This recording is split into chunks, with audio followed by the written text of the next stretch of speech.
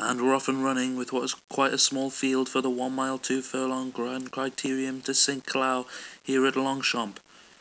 This one mile, two furlong Group 1 race for two year olds. It's the only one of the season, and sometimes it can give a, an indication of horses which will be challenging for the Derby and some of the classics as three year olds next season. And it's Egika in the lead.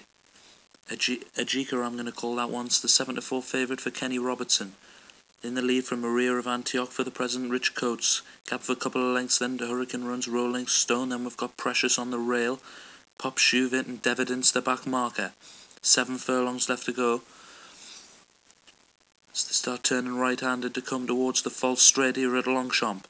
And it's Ejike still in the lead. Maria of Antioch about half a length behind that one. Then we've got Rolling Stone a couple of lengths in behind that one. Devident now being nudged along to move up a little bit closer and Pop Shuvit. Does the same also Precious being patiently waited with at the rear of the field but now just being nudged along. Five furlongs left to go in the Criterium St. Cloud and it's Ajika still in the lead and he's now opened up a little bit of a gap. Maria of Antioch who's now being pushed along and being passed by Rolling Stone Precious has been a little bit blocked in and behind those horses not being allowed to make his run right now. Devenant up on the outside. Maria of Antioch's found another gear finally and has now gone up to challenge the long-time leader Ajika. And now Precious has got a run. Precious is making a real good run, but has now found himself locked in again in behind the leader. And now the gap reappears.